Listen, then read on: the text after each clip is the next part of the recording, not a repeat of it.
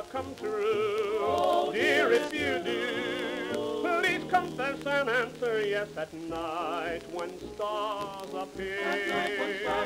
I hear you calling, dear. Will my imagination turn into realization? Do you?